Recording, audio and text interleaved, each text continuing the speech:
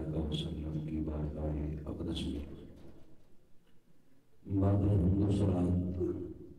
अल्लाह का लाख लाख शुक्र है कि उसने हमें ये रहमतों बरकतों अजमतों फजीलतों वाला महीना रमज़ान मुबारक शरीफ नसीब फरमाया इसके दिनों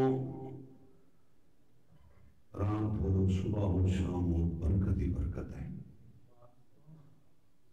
बरकतों से भरपूर इसमाइल मुकदस में आप हजरात अल्लाह और उसके प्यारों का ज़िक्र सुनने सुनाने का सिलसिला शुरू रखे हुए हैं। आपको दावे की सादत नसीब फरमाए। और हम सबको कमाल को सुन सुना कर इस पर अमल करके दोनों जहाँ संवारने की तो नसीब फरमाई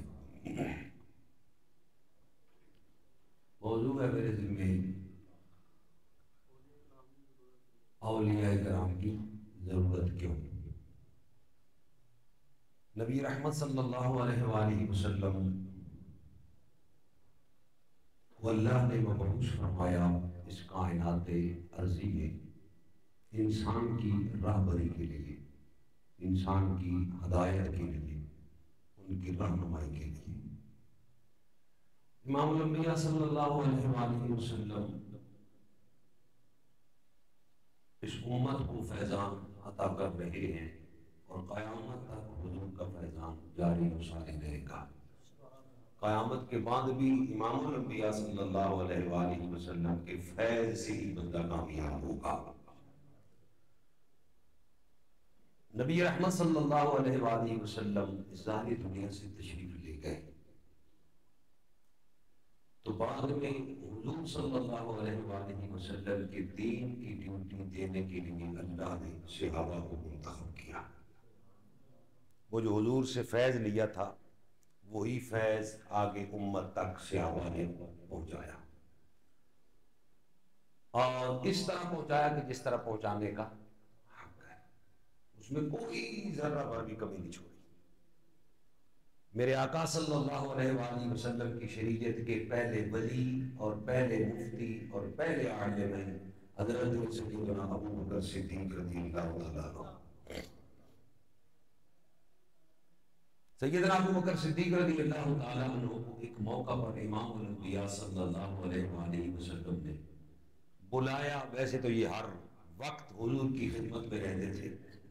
और आका करीम सल्लल्लाहु अलैहि वसल्लम से फैद याब होते थे। और रमज शनास मुस्तफ़ा थे। देखो, समझना पड़ता है ना, मिजाज क्या है, कैसे गुफ्तगु करेंगे, इनके दिल में क्या चल रहा है? तो सैदना अबू बकर सिद्दीक हुजूर के रमज शनास थे। मेरे नबी की हकीकत को सिवाय अल्लाह के कोई नहीं जानता, ये बात याद रखिए। हजूर की हकीकत क्या है, इसको अल्लाह के सिवा कोई नहीं जानता। लेकिन हज़रत सिद्दीक अकबर को खसूसियत के साथ फैज नसीब हुआ था। खसूसियत के साथ फैज नसीब हुआ था। आका करीम सल्लल्लाहु अलैहि वसल्लम ने एक मौका पर अबू बकर को बुलाया। बुला के फरमा अबू बकर मेरे सीने के साथ लगो। अबू बकर को हजूर ने सीने से लगाया। सीने से लगाकर आका करीम सल्लल्लाहु अलैहि वसल्लम ने पीछे हटाया। मेरे नबी ने फरमाया, अबू बकर, अल्लाह ने जो इस सीने में, यानी हजूर ने अपने सीने की तरफ़ इशारा किया। अल्लाह ने जो इस सीने में नाजल किया अय अबू बकर वो सारा मैंने तेरे सीने में मुंतकिल कर दिया ये पहले आलिम है ये पहले वली है। मेरे नबी की शरीयत के ये पहले मुफ्ती हैं। और ये बात याद रखिए हजरान वही वली है जिसको अल्लाह ने दीन का इलम अदा कर रखा है। दीन की समझ अदा कर रखी है। अगर दीन की समझ नहीं है, वो बंदा वली नहीं। क्यों? उसने उम्मत की रहबरी करनी है, रहनुमाई करनी है। हजूर सलाम से अबू बकर ने सीखा भी सैदना सिद्दीक अकबर ने सीखा भी, और वो सीखने के बाद फिर इसको मजीद बरकत क्या मिली? हुजूर ने अपने सीने का फैज भी अदा कर दिया। अपने सीने का फैज भी अदा कर दिया। और सिर्फ़ ये फैज नहीं हजरान शान और मकाम ये है। वो हिजरत वाला सफ़र अपनी आँखों के सामने रखिए। सैदना सिद्दीक अकबर तीन दिन और तीन रातें गारे सौर के अंदर नबी रहमत सल्लल्लाहु अलैहि वसल्लम के चेहरे पाक का तन्हाई में दीदार करते हैं। तन्हाई में दीदार कर रहे हैं, तन्हाई में हजूर की जियारत कर रहे हैं। और यहाँ से जो हिजरत फरमाकर हजूर मदीना पाक की ज़मीन पर गुरूद फरमाते हैं ना तो वो कुबा का मकाम था। लोग जौक दर जौक मदीने के मिलने के लिए हजूर को आ रहे हैं। तो आका करीम सल्लल्लाहु अलैहि वसल्लम को जिन लोगों ने जाहरी आँखों से देखा था, वो तो हुजूर को मिलते थे। और जिन्होंने हुजूर को नहीं देखा था, वो पहले सैदना सिद्दीक अकबर को मिलते थे। अब सैयदना सिद्दीक अकबर ने देखा कि लोग ना पहले मुझे मिल रहे हैं और अबू बकर की मोहब्बत कब गवारा करे कि पहले मुझे मिला जाए और बाद में आका को मिला जाए। ये खड़े हो गए, खड़े होकर वो मशहूर वाकिया आपने उलमा से सुना कि इन्होंने चादर का पंखा बना लिया और हुजूर वसल्लम को हवा देना शुरू कर दी। हुजूर ने ये मंदिर देखा तो आका करीम वसल्लम ने फरमाया, अबू बकर को गर्मी तो है नहीं। गर्मी का मौसम तो है नहीं। फिर ये हवा अर्ज़ किया का जिन लोगों ने देखा, वो पहले मुझे आके मिलते। अबू बकर की मोहब्बत ये गवारा नहीं करती। इससे पता चला, ये बात जहन में रखिए कि ये वलायत का फैज है। अबू बकर वली है ना? ये फैज है। क्या आका पहले आपको मिला जाए? बाद में कोई मेरी मोहम्मत ये गवारा नहीं करती।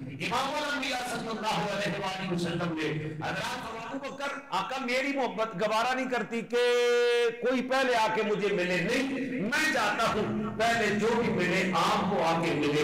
हजरात गिरामी जो बात करना चाहता हूँ, वो ये है कि लोग क्यों ना पहचान सके। मेरे आका वसल्लम को पहचान तो अल्लाह ने। ऐसी अता कर रखी थी कि काफिर भी देखता था तो वो भी जानता था। ये नबी और सच्चा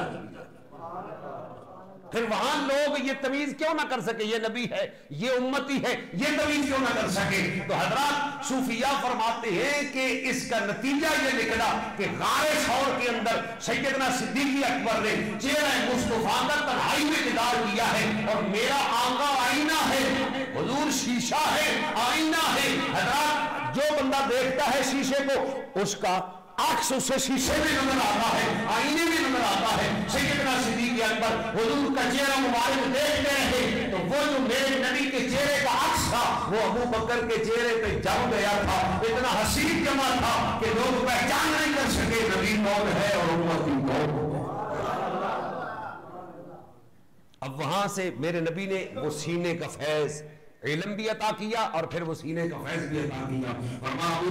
मेरे बाद इसको तकसीम करना है। और फिर सारे सहाबा जो हुजूर से फैज लेते रहे, हजरात उनसे बड़ा वली कोई नहीं है, उनसे बड़ा गौस कोई नहीं है, उनसे बड़ा कुतब कोई नहीं है। इमाम अंबिया सल्लल्लाहु अलैहि वसल्लम ने उम्मत तक फिर इस फैज को पहुँचाने के लिए सहाबा की गिनती लगाई।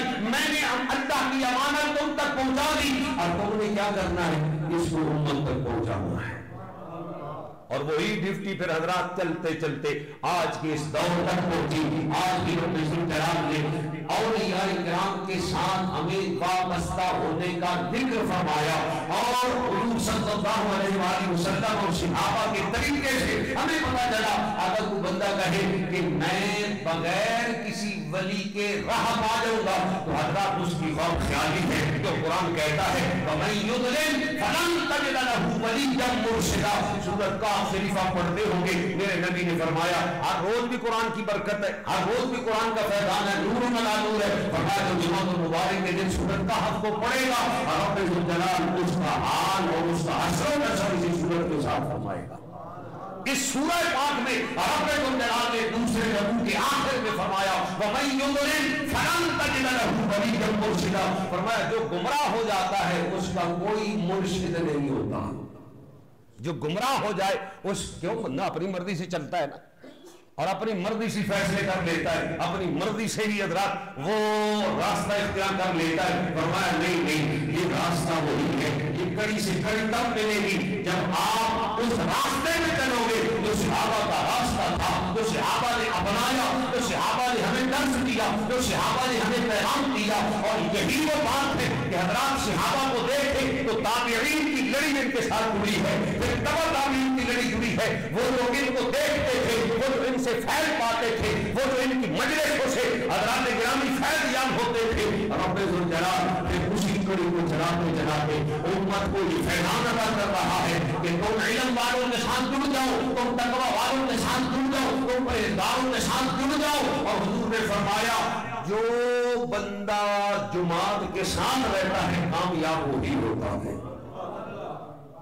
जो इनके साथ जुड़ता नहीं है, वो और फिर वली कौन है? फरमाया वाला फिर सबूरे इन अन्न करता यरसुहा इबादी फरमाया, लोगों, हमने जबूर में ये फैसला दे दिया था। ये जो हमारी ज़मीन है, इस ज़मीन की रजिस्ट्री और इंतकाल इस ज़मीन का मालिक हमने अपने नेक बंदों को बना दिया। है वलियों को बना दिया है। इस ज़मीन के वारिस वली है। इस ज़मीन के वारिस वली है। और फिर हजरात, जिनकी मलकियत है, उस पे हम रहते हैं। और जन्नत की ज़मीन का फरमाया तो सूरह मरियम में फरमाया दिल कल जन्नतुल्लजी नूर सौदी देना मन कान तकिया। फरमाया, तुम जन्नत जन्नत करते हो तो जन्नत हमने अपने वलियों के नाम कर दी। है ये जन्नत हमने वलियों को दे दी है। ये ज़मीन के मालिक भी वली है। जन्नत के वारिस और मालिक भी वली है। ये शान और ये मकाम अल्लाह ने वलियों को अदा कर रखा है। फरमाया, तुम इनके साथ जुड़े रहो, इनसे जुड़े रहोगे तो कभी शैतान तुम्हें गुमराह नहीं कर सकेगा। अगर इनका दामन छोड़ दोगे इनका रास्ता छोड़ दोगे इनसे नाता और ताल्लुक तोड़ दोगे, तुम कभी भी फला नहीं पा सकते, तुम कभी भी कामयाब नहीं हो सकते। वो जो बंदा आज वलियों से दूर करता है और ये तलकीन करता है कि ये कुछ नहीं कर सकते, ये कुछ नहीं दे सकते, ये इनके पास ताकत नहीं है, इनके पास कोई ऐसी कुवत नहीं है तो फिर सुनिए हराते गिरामी वो भी हकीकत से कभी मुँह फेर नहीं सकते। वो भी जानते हैं कि अल्लाह ने वलियों को ही ताकत अदा कर रखी है। इन्हीं का फैल नसीब होता है तो फिर ही बंदा कामयाब होता है। आप किताब का नाम है करामात हदीस। इस करामात हदीस के अंदर लिखने वाला है अब्दुल मजीद सोदरवी। और ये जिसकी फरमाइश पे लिखी गई है, वो हजरात, ये आपका सैनिक साजिद मीर, इसका दादा है मीर इब्राहिम शाह वो भी करामात हदीस के अंदर ये बात मौजूद है कि कहते हमारे एक मौलवी थे, जिनका नाम था जिया मासूम। वो अक्सर और बेशतर हज़रत मुजद्दिद अल-फिसानी शेख अहमद सरहदी रहमतुल्लाह अलैह के मिसाल पे जाया करते थे और वहाँ जाके फातिहा खानी पढ़ते और फिर फातिहा पढ़ने के बाद हज़रत मुजद्दिद की कब्र से फैज लेते थे। किससे फैज लेते थे? कब्र से किसकी कब्र? और ये वो है कि आज हम पाकिस्तानी होने पे नाज करते हैं कि हम पाकिस्तानी हैं। आज हम करते हैं कि हमारी शनाख्त पाकिस्तान है। पाकिस्तान की बुनियाद कायद आज़म मोहम्मद अली जिना और अलामा इकबाल इन दोनों ने दो कौमी नज़रिए रखी है। दो कौमी नज़रिया देने वाला इन दोनों को कौन है? जिसने ये दो कौमी नज़रिया अलामा इकबाल को भी और गाय आज़म को भी दिया कि पाकिस्तान की बुनियाद दो कौमी नजरियों पर रखी जाए। हजरात को मुजद्दिद अल-फिसानी है। अलामा इकबाल आमी नहीं थे दो कौमी नज़रिए के। वो कहते बस एक कौम रह रहे हैं, बस ठीक करें अंग्रेज़ को यहाँ से भगा दे। लेकिन हज़रत मुजद्दिद साहब की किताबें उन तक पहुँची, उन्होंने किताबों को पढ़ा, वो इस नतीजे पे पहुँचे कि पाकिस्तान को दो कौमी नज़रिए पे बनना चाहिए। इसकी बुनियाद दो कौमी नज़रिए पे रखनी चाहिए।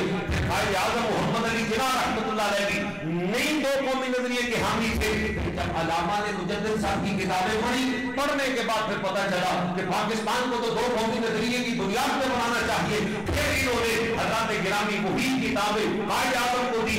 कहा, इस अल्लाह के वली की ये किताबें पढ़ो और फिर फैसला करो कि पाकिस्तान को हमने दो कौमी नज़रिए में बनाना है। तो हज़रत गिरामी किताबें पढ़ के हमें ये पाकिस्तान दो कौमी नज़रिए में बना के दिया गया था।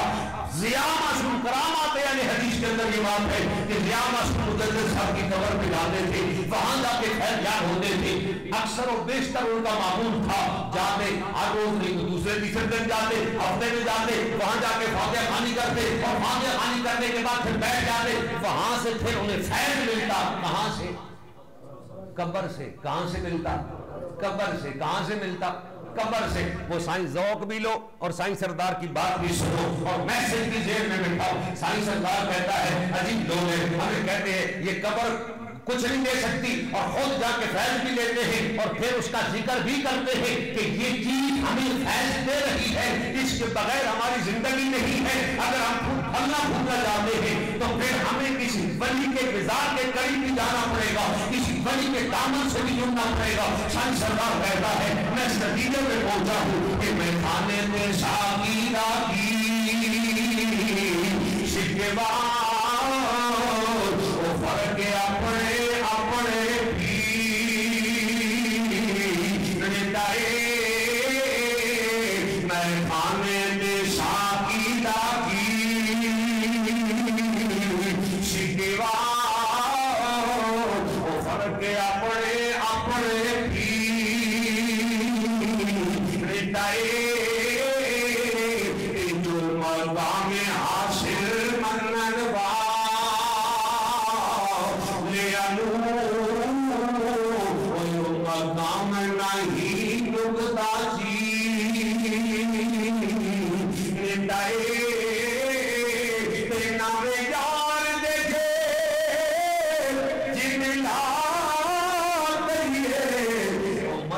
आवे फिर मरण ते जी। जाए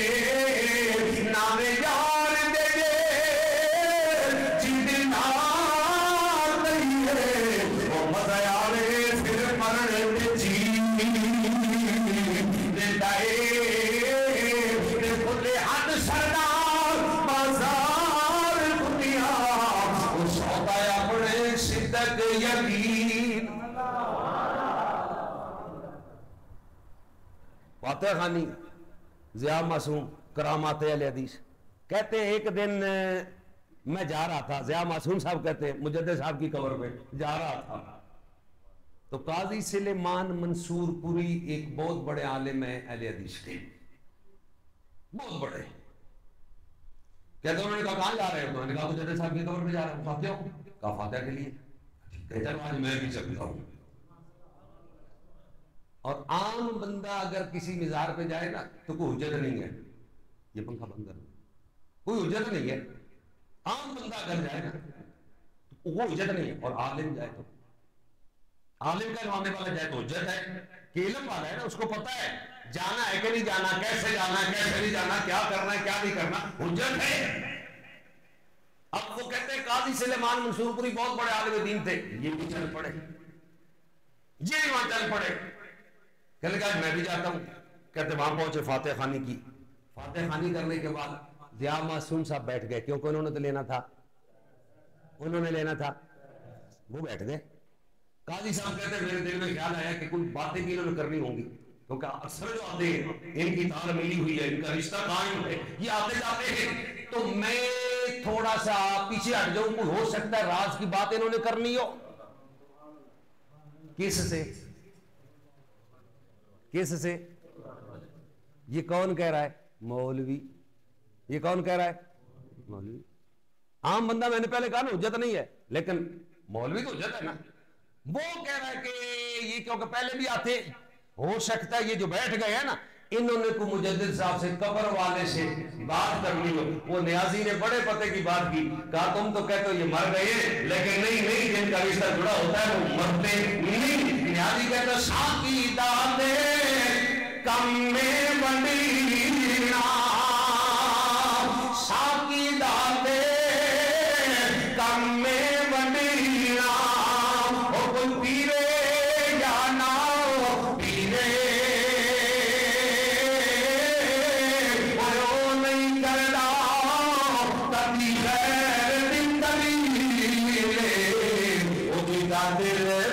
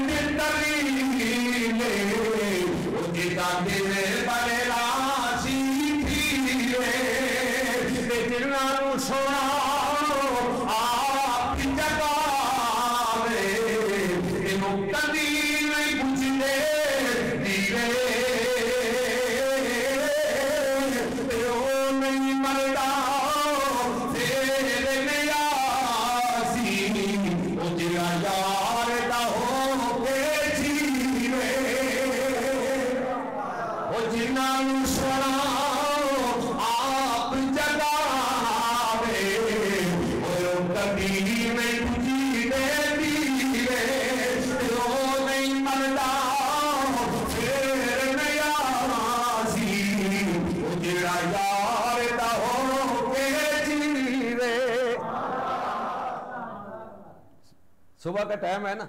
ये बात आपने याद रख ली है, मैं वापस आपको इधर लाता हूँ कि मुजद साहब की कब्र पे दो मौलवी गए। दो? लेकिन यहाँ एक बात मर्ज करना चाहता हूँ, सुनिए, सुबह की नमाज़ पढ़ी ना, फजर की, जैसे अभी आपने पढ़ी। फजर की नमाज़ पढ़ी। किसने? वो पाक पतन के शहनशाह ने। बाबा फरीदुद्दीन गंज शिकार, बादशाह, कमाल इतना है ना, मज़ा तो ये है ना। कि रब से इतना प्यार किया, इतना रब को राज़ी किया, अल्लाह ने जन्नत का गेट ही फरीद के घर लगा दिया फजर की नमाज़ पढ़ी, फजर की नमाज़ पढ़ के ना, हज़रत ख्वाजा निजामुद्दीन औलिया को बुलाया, आपके मुरीद थे और खास फैज था। और कैसी लड़ी है? हज़रत, फरीद से पहले देखे तो ख्वाजा मुख्तियार का नाम आता है। दरमियान में फरीद है, और आगे चल के देखे तो ख्वाजा निजामुद्दीन औलिया का नाम आता है। कैसी हस्तियाँ हैं ख्वाजा निजामुद्दीन औलिया को नमाज़ पढ़ के ना फजर की बुलाया, कहा, निज़ाम बात सुनो करीब आए, जेब से ना कुछ शक्कर, कुछ बादाम निकाले, कहा अपने पास रख लो, आज हमने चले जाना है। आज हमने चले जाना है। तो कहा, हजूर, इनका क्या करूँगा? फिर आपने चले जाना है तो। फरमाया, अगर खात्मा हुआ ना ईमान पे, अगर मेरा खात्मा हुआ ना, जाना जो, चले में जाना है। खात्मा हुआ ईमान पे तो निज़ाम, ये बच्चों में शक्कर और बादाम हमारे जनाजे के पीछे बाँध देना। शुक्राने के तौर पे कि हमारे पीर का खात्मा ईमान पे हुआ है। फजर की नमाज़ पढ़ के आपने निजामुद्दीन औलिया को बुलाया और कहा, ये ले लो और आज हमने चले जाना है। ईशा की नमाज़ पढ़ के आपका विशाल हुआ है। मुझे और आपको तो खबर नहीं है कब जाना है।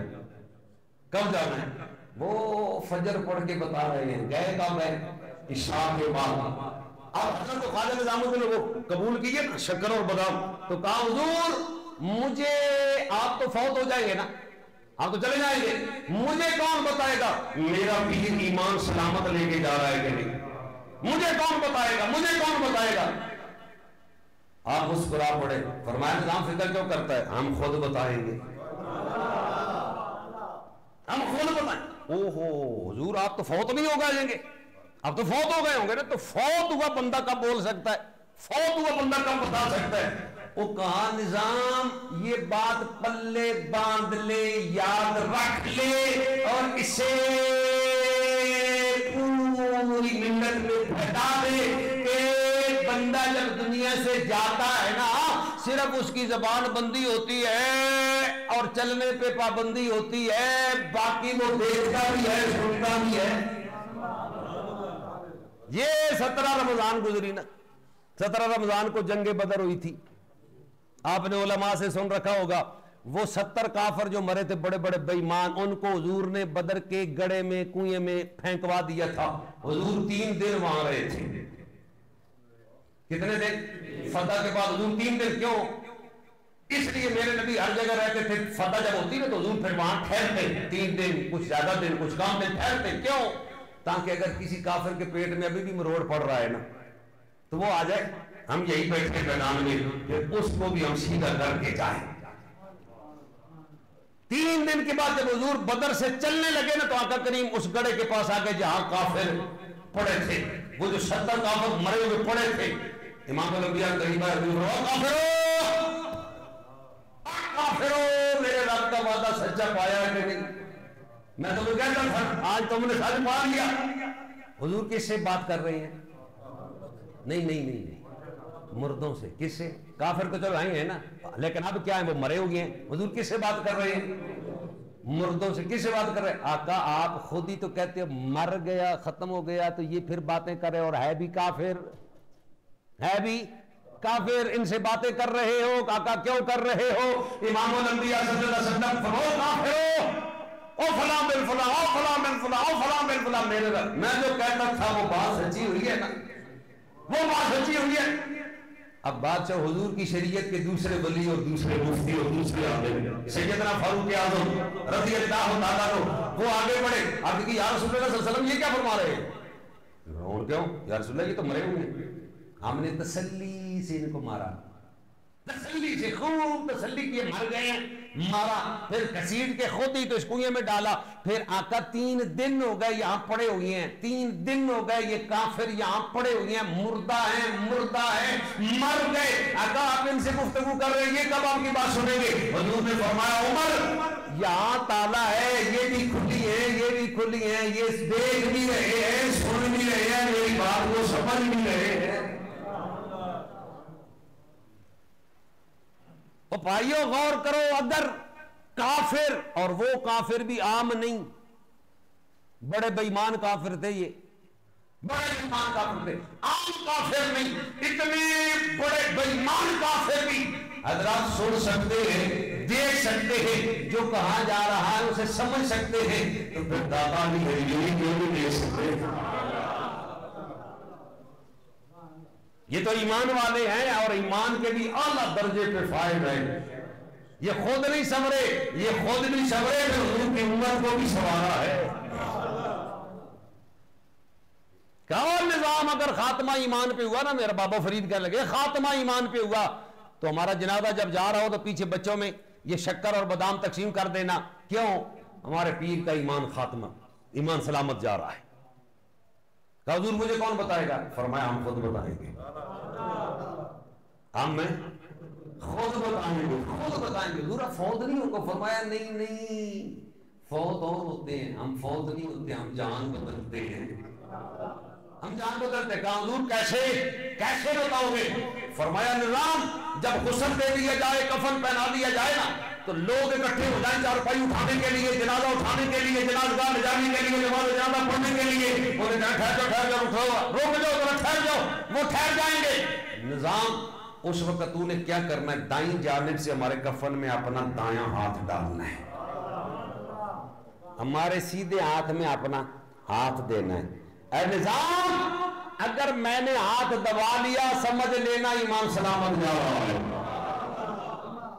साकी दाते कम में बंडीना और कोई पीले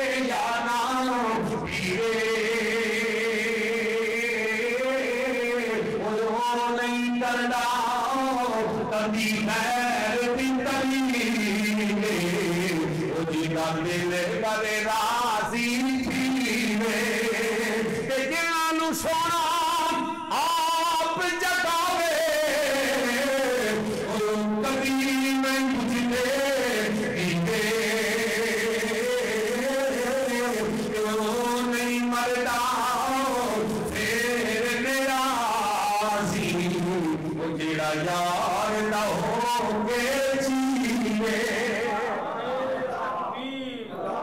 नारे रिसाल नारे तहकीक नारे हैदरी नारे गौसिया ताज नारे खत्म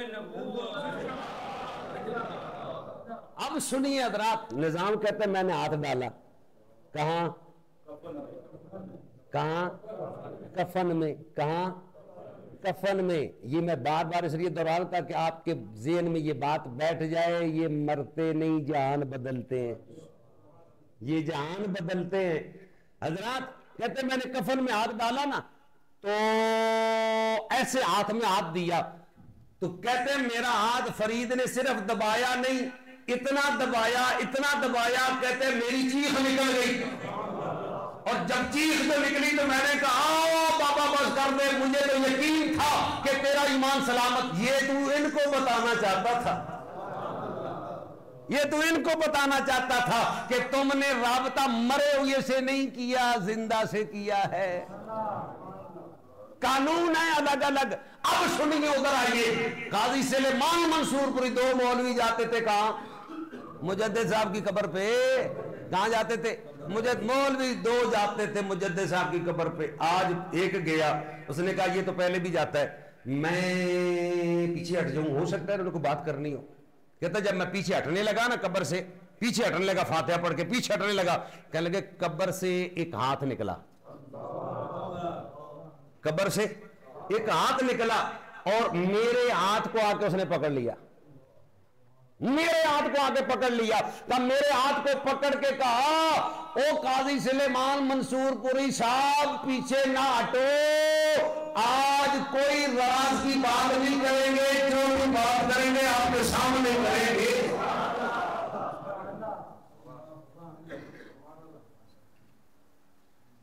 आज़म चिश्ती ने बड़े पति की बात की। वो कहता, महबूबा ते नुकता चीनी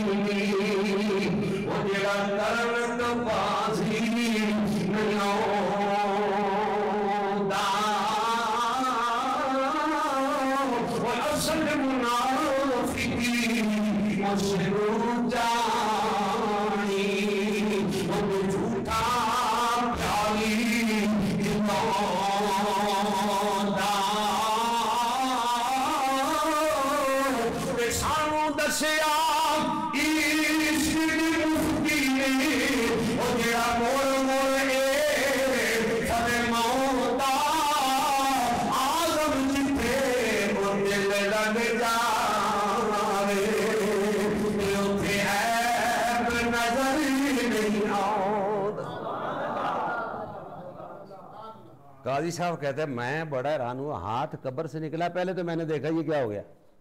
आज तक हम कहते थे, मरे हुए हैं। आज तक मर गए, ये आ गया हाथ कहाँ से? क्या मैंने कहा, ऐसे तसल्ली नहीं है। तसल्ली नहीं हुई, ऐसे तसल्ली नहीं हुई। बता, तू किसका हाथ है? आज जो कब्र से आया है तो बता, अकल होती तो वो पहले ही कह देते कि कब्र से जो आया तो कब्र वाले का है, लेकिन नहीं नहीं नहीं नहीं नहीं। नहीं नहीं, ये बता किसका है? वो काजी साहब, जिसके पास आए हो, ये उसी का हाथ है। ये उसी का हाथ है, मुजद्दद का। हज़रत गिरामी पता चला कि ये जो कब्रों में चले जाते हैं, इनका फैज उसी तरह जारी, उसारी रहता फैज मिटता नहीं। फैज खत्म नहीं होता। ये आपका शरकपुर शरीफ है। जानते हो? कभी गए भी हो? जाना भी चाहिए। जाना भी चाहिए। अल्लाह तौफीक दे, जाओ। क्यों? मेरे नबी के ये जो मिजार है ना, वलियों के और वलियों के जो जो आस्थाने और जो वली है, ये मेरे नबी के डीपू हैं। डीपू समझते हो ना? डीपू है, डीपू डीपू। अब ये डीपीओ का क्योंकि अंग्रेज़ी दौर आ गया ना, पप्पू वाला जनाब वो दौर आ गया। अब इन डीपीओ को कहते हैं यूटिलिटी स्टोर। अब इनका नाम बदल दिया ना, क्योंकि जरा अंग्रेज़ी ज़्यादा पढ़ ली। नाम बदल दिया। वैसे इनको पुराने दौर में ये जो बाबे हैं, ये जानते होंगे, इनको कहते थे डीपू। सरकारी डीपू। मेरे नबी के ये जो आस्थाने हैं, ये डीपू हैं। ये यहाँ तो ये जो हमारे यहाँ सरकारी डिपो हैं, इनमें तो हजरात नकारा चीज़ें होती हैं। नहीं, ये मेरे नबी के डिपो हैं, इनमें नकारा जाए तो कार आमद बन जाता अब सुनिए कैसे कार आमद बनता है। कसूर से एक नाबीना चला हजूर के मिजार पर अनवार पर। उम्र के लिए गया, फिर हजूर के मिजार पे गया। वहाँ जाके फाते खानी पड़ी और दरूशरी पड़ा सलाम किया हजूर को। सलाम करने के बाद अर्ज़ करने लगा यार रसूल आँखें होती ना। तो मैं भी आपका रोजा देखता। आँखें होती ना, मैं भी आपकी जालियाँ देखता, आपका शहर देखता, आपकी मस्जिद देखता, आँखें जो नहीं है तो कुछ भी। बस इधर से वो फरियाद, बस कबूलियत का वक्त था। मेरे नबी ने दीदार करा दिया। हुजूर ने ख्वाब में दीदार करा के फरमाया हो इतना तवील सफ़र करके आया है सिर्फ़ आँखें लेने के लिए। अगर तूने आँखें लेनी थी, इतना सफ़र क्यों किया? कसूर से शरकपुर जाता। वहाँ मैंने एक डीपू खोल रखा है एक डॉक्टर बिठा रखा है मुझे आके ले ली और ये जो नाबीने होते हैं ना ये लकीर के फकीर होते हैं। हाँ, ये लकीर के फकीर हैं। अब उसने ये तो नहीं कहा यार सुल्ला अब इतना सफ़र करके वहाँ जाऊँगा फिर पता नहीं मिलेंगे नहीं मिलेंगे आँखें होंगी नहीं होंगी। आका आपके पास जो आया हूँ तो सिफारिश कर दे अल्लाह आँखें दे दे। देता तो अल्लाह है ना तो सिफारिश कर दे आप ही कर दे। नहीं वो लकीर का फकीर तो उसने कहा मेरे नबी ने कह दिया कह लगा आप शरक पूरी कर है वहीं जाके फिर हम इलाज करवाएँगे उस अस्पताल में। हजरात वहाँ से चला, कहने लगा घर क्या जाना है? पहले जाता हूँ, आँखें लेके फिर घर जाऊँगा तो कम कम से कम जनाब घर वाले तो नज़र आएँगे ना। शरकपुर आ गया। रात का वक्त था शरकपुर में दाखिल हुआ। रात का वक्त था शरकपुर में दाखिल हुआ। कहने लगा, सर्दियाँ थी, बड़ी सख्त। कहने लगा, अब रात हो गई है, मियाँ साहब को जाके तंग करूँगा। पता नहीं आराम करते होंगे, मुश्किल में पड़ जाएँगे। ऐसे करता हूँ कि मैं ना रात मस्जिद में गुजार लेता हूँ, सुबह उनके घर चला जाऊँगा और उन्हें जाके सारी बात बता दूँगा। अब ना वो मस्जिद में दाखिल हुआ, सफ़े पड़ी हुई थी, सफ़े उसने ली ऊपर। सो गया। इत्तेफाक ऐसा था, खुदा की कुदरत थी, इत्तेफाक ऐसा था कि हज़रत गिरामी, हज़रत मियाँ शेर मोहम्मद शरकपुरी रहमतुल्लाह अलैह आप मस्जिदें बदल बदल के ना नमाज़ तजुद पढ़ा करते थे। हमने तो कभी पढ़ी नहीं है। मुझे तो वैसे ही छोड़ो हटो चलो। आप मस्जिदें बदल बदल के ना नमाजें तहज्जुद अदा किया करते थे। आज यहाँ इस मस्जिद में ऐसे बदल बदल के। और अब अब कभी जाओ ना, अगर ये आपके इलम है तो ठीक है, नहीं है तो फिर जेल में भी बिठाओ अब कभी जाओ तो फिर उन मस्जिदों को देख के भी आओ। आज भी वो मस्जिदें मौजूद है, जिस जिसमें मियाँ साहब ने नमाज़ तहज्जुद पढ़ी है ना, उस मस्जिद का नाम है शेर रबानी मस्जिद नंबर एक, शेर रबानी मस्जिद नंबर दो, शेर रबानी मस्जिद नंबर तीन, शेर रबानी मस्जिद नंबर चार। जिन जिन मस्जिदों का नाम शेर रबानी है और नंबर लगे हुए हैं, उन मस्जिदों में ज़रूर जाके नफल पढ़ो, नमाज़ पढ़ो, कुरान पढ़ो पढ़ो क्यों ये जो मसाजिद है जहाँ मियाँ साहब ने नमाज़ तहज्जुद अदा की है उसने सफ ली ऊपर लेट गया कहने लगा सुबह होगी देखी जाएगी इत्तेफाक ऐसा था आज उसी मस्जिद की बारी थी मियाँ साहब के तहज्जुद पर की मियाँ साहब आ गए नफल पढ़े फिर बाद में आप ज़िक्र किया करते थे ज़िक्र के बाद फिर आप दुआ किया करते थे बड़ी अजीम दुआ, बड़ी अजीम दुआ किया करते थे। फिर उसके बाद फजर का वक्त होता, फिर अजान, फिर फजर, वो सारा सिलसिला चलता। हज़रत आपने नफल पढ़े? ना बीना सो रहा है नफल पढ़ने के बाद आपने ज़िक्र किया। ज़िक्र करने के बाद ना आपने फरमाया और साथ में सोने वाले भाई। बेली आप कहते थे। ओ बेलिया, उठ। देख, सुबह शादी हुई है कि नहीं? उठ के देख पो फुटी है कि नहीं? वो साथ में ही मुँह डाल, सर्दी थी ना, साथ में मुँह डाले कहने लगा, बाबा, मैं अंदर मुझे नज़र नहीं आता आपने फिर ज़िक्र शुरू कर दिया। फिर पढ़ना शुरू कर दिया। पढ़ते रहे पढ़ते रहे, थोड़ी देर के बाद फिर फरमाया और साथ में सोने वाले ले लिया उठ के देख। सुबह शादी हुई है कि नहीं पोट फूटी है कि नहीं? वो कह लगा, मैं अन्ना हूँ। मुझे नज़र नहीं आता।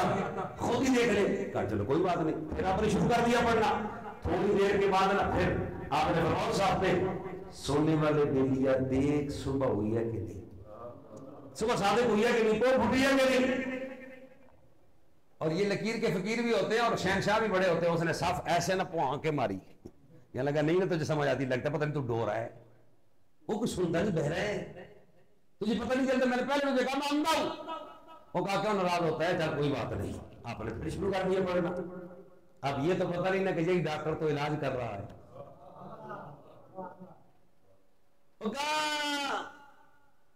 थोड़ी देर के बाद उठ। देख तो सही, वो फुटी है कि नहीं, सुबह साबित हुई है कि नहीं, देख, उठ के देख। अगर वो उठा कर लगा ये नहीं बात आएगा, एक मरतबा मुझे जाना ही पड़ेगा।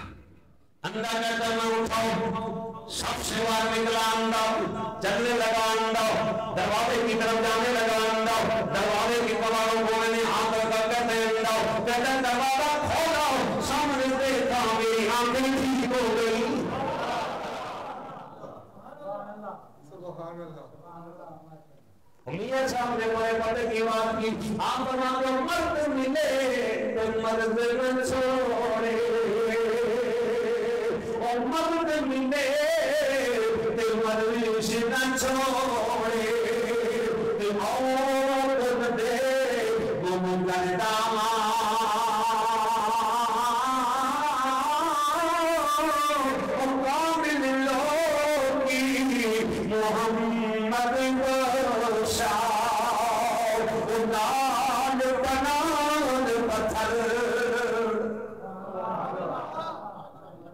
कदमों में आ गया। कहने लगा, बाबा, माफ़ कर दे, बड़ा तुझे सताया है। बड़ा तंग किया है, बड़ा ही तंग मुझे नहीं पता तुम्हें ही है वो कहा पगले जब मेरे नबी ने तुझे फरमाया था उधर तुझे बता रहे थे, उधर मेरी ड्यूटी लगा रहे थे। ये लोग दुनिया में रहे तो फिर भी इनके बगैर गुजारा। नहीं, दुनिया से चले जाए, फिर भी इनके बगैर गुजारा। नहीं, ये जो है ना, यौम बिइमामिहिम। अल्लाह कयामत वाले दिन ऐलान फरमाएगा ऐलान फरमाएगा, अपने अपने पेश इमाम के पीछे हो जाओ। एक तो ये पेश इमाम भी मुफसरीन ने कहा, आपसे नबी नमाज़ पढ़ाई। हाँ एक तो ये इमाम फाक भी हैं कि इनके पीछे मुक्तदियों को कहा जाएगा, इनके पीछे हो जाओ। दूसरा मुफसरीन की अक्सरियत कहती है, ये तरीकत के औलिया हैं। अल्लाह क़यामत के दिन इनके मुतालिक फरमाएगा, जो जो इनसे जुड़ा हुआ है, जो जो इनसे जुड़ा हुआ है, जो जो इनसे जुड़ा हुआ है, आज इनके पीछे हो जाओ और इनका हाथ और दामन पकड़ के आज मेरी जन्नत में दाखिल हो जाओ। मेरी जन्नत में दाखिल हो जाओ तो मेरे भाइयों ये बात याद रखो याद रखो आखिरी बात सुनिए तो वलियों को बड़ी शान अता की बड़ा मुकाम अता किया तो तफसीरी अजीजी के अंदर सूरत इकरा बिस्म खलक वो जो पहली सूरत हजरात सूरत के तहत तफसीर में काली शाह देवी फरमाते हैं कि हज़रत बाकी बिल्ला रहमतुल्लाह अलैह बहुत बड़े वली इमाम गुजरे बहुत बड़े। सर्दियाँ थी। सर्दियों में आधी रात के वक्त इनके मेहमान आ गए। तो अब तो सारी देर रात ही माशाल्लाह तंदूर खोले होते हैं। तो उस वक्त ये सिलसिला होता नहीं था। मेहमान जो आधी रात के वक्त आ गए, सर्दी भी बढ़ी है। आपने मेहमानों को बिठाया भी खाना खाना है। कहने लगे, खाना तो खाना है, लेकिन इस वक्त कहाँ से रोटी मिलेगी? खाना मिलेगा चलो कोशिश कर लेते हैं, मिल गई तो ठीक है, ना मिली तो सबर शुक्र कर लेना। उन्होंने अपने, हज़रत बाकी बिल्ला ने अपने उस लांगरी को उठाया, वो जो रोटियाँ पकाने वाला था ना, नान भाई उसको उठाया। कहा, यार, मेहमान आ गए, सर्दी बड़ी है, लेकिन उन्होंने खाना खाना है, अगर तू रोटी पका दे तो मेहमान खुश हो जाएगी। कहने लगा, हजूर, कमाल हो गया, मैं अभी पका देता हूँ। हाल मुख्तसर उसने खाना पकाया। खाना तैयार करने के बाद जब दस्तरखान पे खाना सजाया गया, मेहमानों ने खाना खाया मेहमान बड़े खुश हुए कहने लगे, हज़रत बाकी बिल्ला, वो तेरा लांगरी कितना अच्छा है। इसने बड़ी मोहब्बत से खाना पकाया, इतनी ठंड में। बड़ी मोहब्बत से कि खाना बड़ा लजीज है। खाना बड़ा लजीज है। हज़रत बाकी बिल्ला रहमतुल्लाह ने देखा ना कि मेरे लांगरी पे मेरे मेहमान हुए खुश। आपने फरमाया लांगरी मेरा पास करीब आजी फरमा मांगो क्या माँगता है?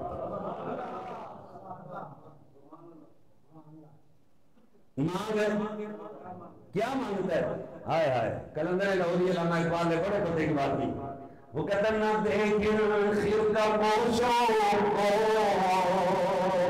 न देखे खिर का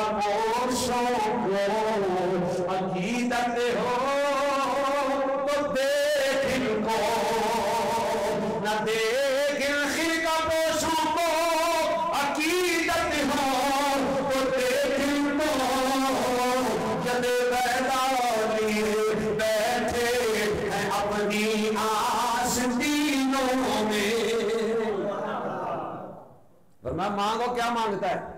वो कहा, हजूर, इससे बड़ी सादत क्या है? खाना मैं पकाता हूँ। खा के आप बाकी बिल्ला है। नाम आपका है बलाया तुम्हें मेरे हाथों के खाने का भी बड़ा मिजाज होता है ना। खाने में बादशाह अगर किसी नेक बंदे का हाथ लगा, वो बरकत होती है कि नहीं? ओ, बसरा शहर है, बसरा। कौन सा? बसरा शहर। नींद आ गई। बस खत्म करने लगा। बसरा शहर है, बसरा शहर। बसरा शहर में एक तंदूर वाला रोटियाँ पकाता था। हर बंदा उसके तंदूर से रोटी नहीं खा सकता था, जो खाता था वक़्त का वली बन जाता था। जो भी खाता था वली, जो भी खाता था वली। हजरात, वो बाकी बिल्ला ने कहा, मांगो, क्या माँगता है? कहने लगा, हजूर, मुझे क्या चाहिए? देखो ना, खिदमत आपकी कर रहा हूँ, इससे बड़ा इनाम वो फरमानी, कुछ और भी मांग। लांगरी कहने लगा, ले भी आज मौज आई है। आज कमाल है आज गर्म होने लगा। लांगरी कहने लगा, बाकी मिल रहा हूँ और मांगने का तरीका और सलीका है ना, मज़ा भी बड़ा आता है। लांगरी कहने लगा, बाकी मिल रहा हूँ अगर अदा करने में आया है ना तो मुझे भी अपने जैसा बाकी मिलना बना दे। ये नहीं कहा कि अपना रंग चढ़ा दे। ना ना ना ना। मैं जिम्मेदार हूँ अपनी बात का। मैंने किताब भी बता दी, लिखने वाले का नाम भी बता दिया।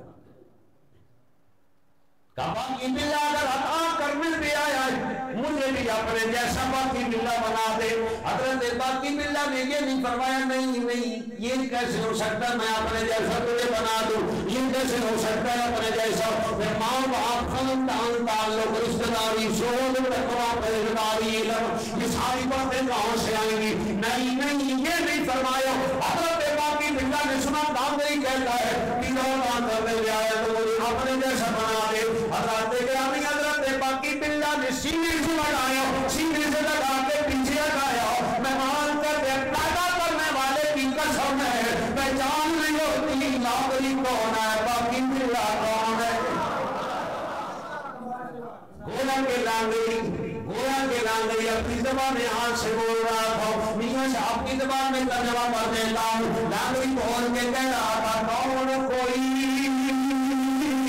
नीमत कौन